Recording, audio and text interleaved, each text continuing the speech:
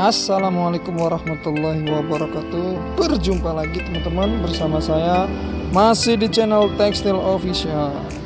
Oke teman-teman Kembali lagi saya akan review ya Kain yang ada di toko kami ini.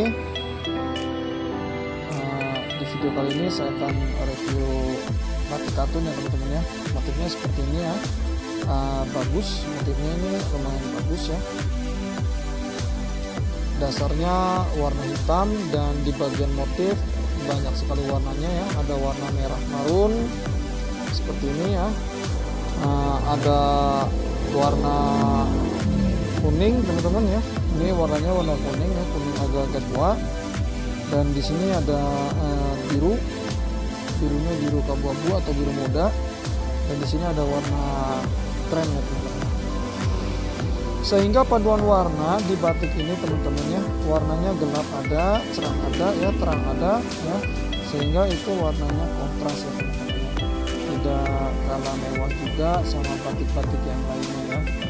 Karena paduan warnanya ini sangat-sangat bagus dan cocok untuk dibikin baju ya cowok cewek ataupun kapelan ya teman-teman ya. Saringitan sama istri ya suami juga bisa. Ya oke teman-teman kan ini memiliki pinggirannya seperti ini teman kita lihat ya pinggirannya. Pinggirannya ini teman-teman uh, kalau menurut saya sih bagus pinggirannya ini teman-teman ya. Pinggirannya sangat uh, bisa dibilang pinggirannya ini tidak terlalu ini banget ya. Tidak terlalu beda jauh ya warnanya ya ada batik yang pinggirannya itu beda banget sama uh, dasarnya gitu ya sama atasnya gitu ya. Dan ini menurut saya ini pinggirannya lebih cenderung ke dalam ya tidak menonjolkan warnanya ya.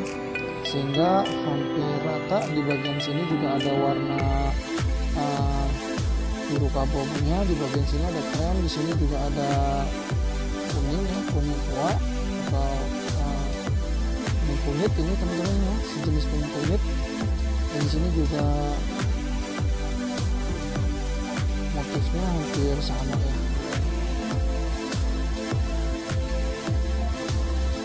Oke teman-teman kain ini memiliki lebar 150 cm height 115 ya teman-temannya. Sorry 115 uh, ini lebarnya lebar kecil lebar batik ya. Sehingga kalau buat baju itu lengan panjang itu 2 meter dan kalau lengan pendek itu semeter setengah semeter setengah udah cukup. Tapi tergantung uh, tubuhnya juga ya teman-teman ya kalau memang agak besar itu ya 2 meter lengan pendek Oke teman-teman, kita lihat uh, ini ya atasnya ya. Uh, atasnya seperti ini ya teman-teman. Polos ya. Maksudnya hampir rata gitu. Jadi pinggirannya di kain ini cuma ada satu ya teman-teman. Memang si hampir rata semua batik itu pinggirannya satu ya. Kalau yang dua itu di bagian songket biasanya, tapi uh, batik juga ada yang ya atas bawah maksudnya ada pinggirannya. Terus kan ini kain katun ya teman-teman ya.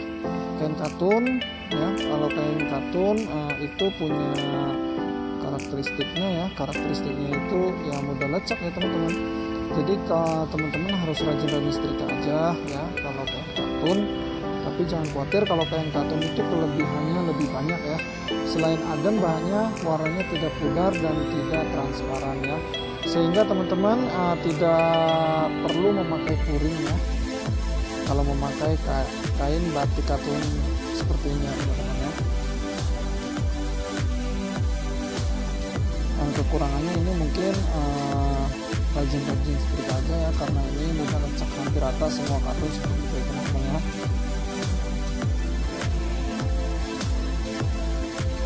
Sangat-sangat adem ya teman-teman ya. Terus nyerap keringat juga lainnya Oke teman-teman segitu dulu video kali ini. Semoga uh, bermanfaat videonya.